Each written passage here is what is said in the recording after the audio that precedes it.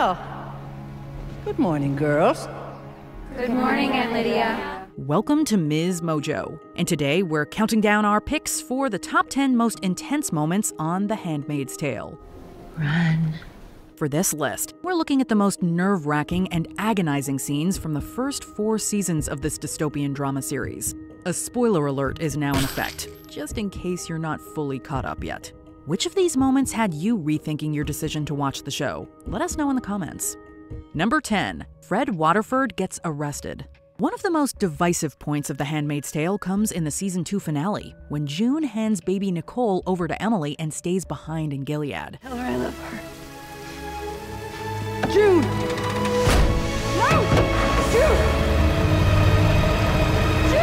While this ensures a better future for Nicole, it initiates a chain of events that results in a disastrous one for Fred Waterford. After a series of pleas and negotiations for Nicole's return, Fred and Serena meet with Mark Tuello, the U.S. official who'd earlier approached Serena in Canada. I have a safe place we can talk up ahead. Follow me. Desperation easily clouds their judgment, as Tuello deceives them into following him across the border into Canada. Once there, he reads a laundry list of the commander's war crimes and places him under arrest, to the absolute satisfaction of everyone watching. The charges identify the use of your authority and access to the apparatus of the state to coordinate the design Number 9. The Handmaid's Close Call. You are told the will of God, and you say, I know better. Although The Handmaid's Tale is an adaptation of the Margaret Atwood novel, the series exhausts the book's narrative by the end of the first season. For its follow up, the show's writers take things into their own hands and drive us down a path of total brutality with this opening scene.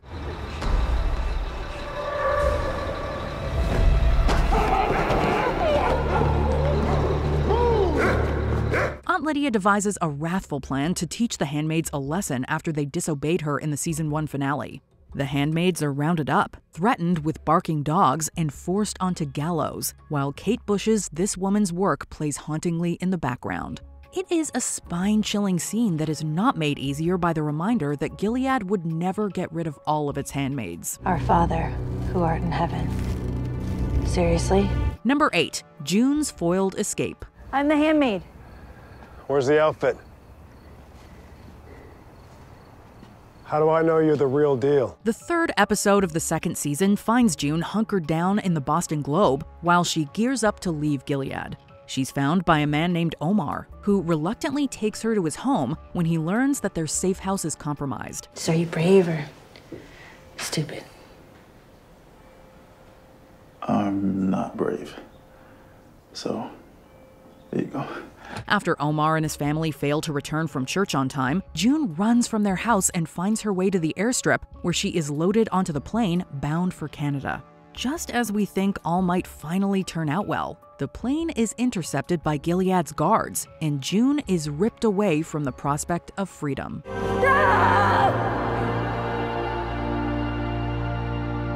Number 7. Janine's Sentence.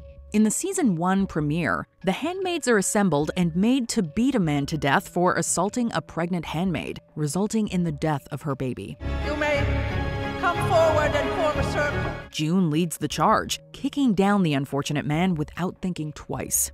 This exact scene is mirrored in the season finale, with Janine kneeling in the man's place. Charged with the crime of endangering a child, Janine is sentenced to death by stoning at the hands of her fellow handmaids. The price of his love is sometimes high, but it must be paid.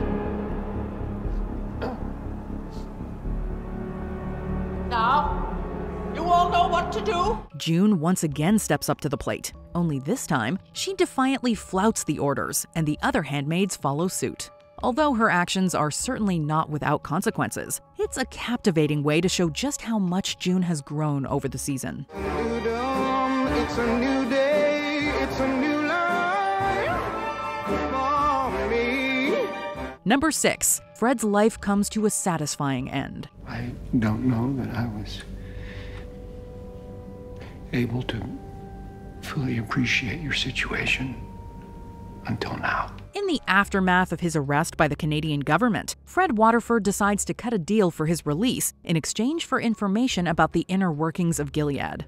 This deal enrages June, who somehow manages to secure a prisoner exchange instead Commander Waterford for 22 Gilead women. Fred is arrested before he can board a plane to Geneva to sign the deal and finds himself in no man's land staring down a malevolent June. Cheers.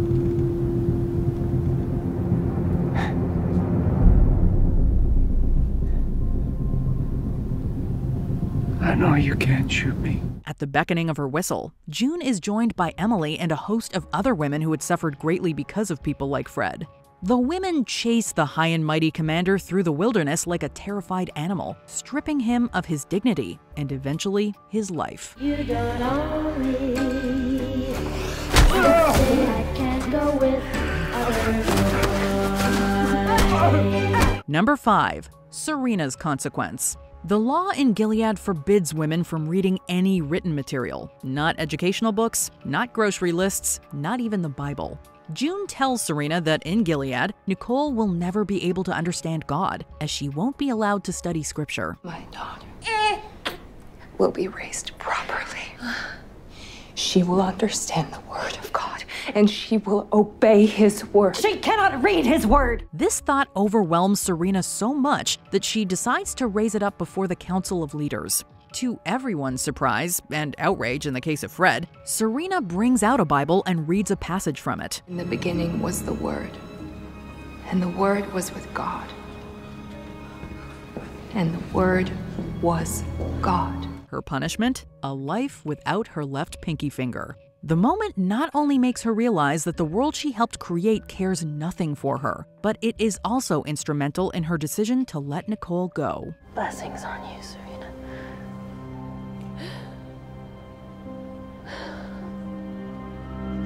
Number 4. June reunites with Luke.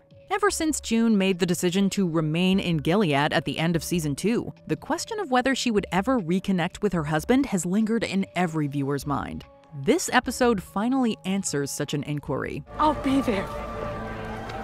Luke, Emily, Rita, everyone who loves you is there. After Moira smuggles June into the Sarah boat, they successfully make it into Canada regardless of a few hiccups along the way.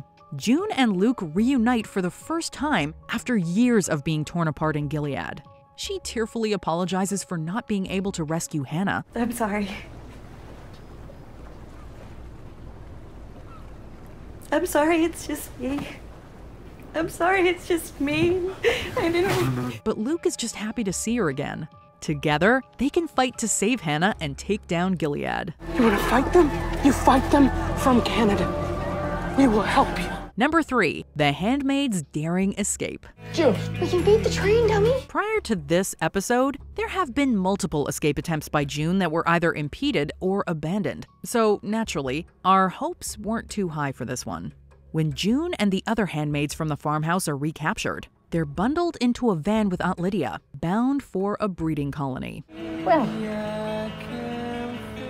it's so wonderful being all together again, isn't it? Yeah. At a railroad crossing, the driver steps out to answer nature's call, and June sees an escape window. She grabs the cattle prod from Aunt Lydia, and the other handmaids make a run for it.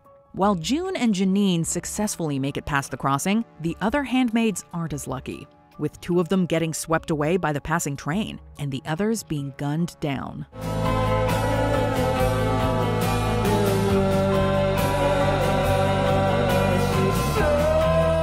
Number 2. The Waterford's Unforgivable Act. She's going into labor. Praise be.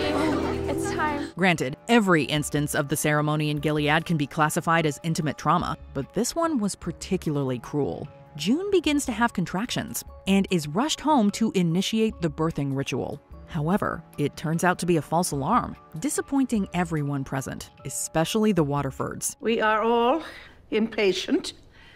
I can promise you that this pregnancy will end soon, and Offred will be off to her next posting. After the series does its best to humanize Serena in the preceding episodes, she takes several steps back into depravity by convincing Fred to induce June's labor in, we quote, the most natural way. It is an extremely graphic scene that is obviously more of a punishment than a procedure intended to induce the child's birth. Serena, listen to me. You don't have to do this. Stop it, Offred. Please don't do this. Stop it. It doesn't have to be this. Offred, you need to You stop. don't. Stop. Don't, please. No. Before we unveil our top pick, here are some honorable mentions. Eden and Isaac are punished for infidelity. They're publicly drowned after their clandestine affair is discovered. Love is kind. It does not envy. It does not boast. It does not dishonor others. It is not self seeking. Moira finds June. The two have an emotional reconnection. June.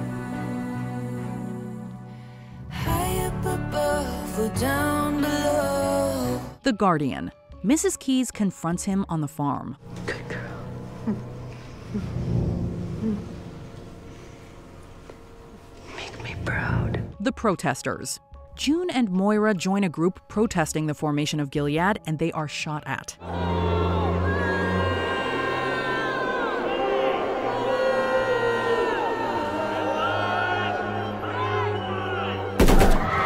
Natalie's breakdown.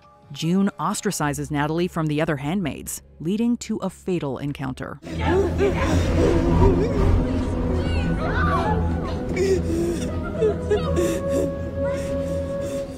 Before we continue, be sure to subscribe to our channel and ring the bell to get notified about our latest videos. You have the option to be notified for occasional videos or all of them. If you're on your phone, make sure you go into your settings and switch on notifications.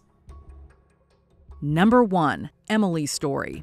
The first season of the show is filled with many shocking moments that introduce us to the cruel dystopian world of Gilead. There was a black van, then footsteps on the stairs, then something quick and brutal that made her unable to scream. One such moment comes at the end of the third episode, not even with our protagonist, but with the handmaid formerly known as Ofglen. When her romantic relationship with a Martha is discovered, the two women are put on trial for, quote, gender treachery and swiftly pronounced guilty. Your existence is an abomination. True justice would see you sent to an eternity of suffering. But God has seen fit to make you fruitful, and by that we are bound. Their sentences are immediately carried out, resulting in Martha being executed right before Ofglen's eyes. Meanwhile, an even darker fate awaits the handmaiden. After she wakes up in a blinding white patient room, we find out her real name is Emily and that she's experienced the unthinkable. You won't want what you cannot Blessed be the fruit, dear. Do you agree with our picks? Check out this other recent clip from MsMojo. And be sure to subscribe and ring the bell to be notified about our latest videos.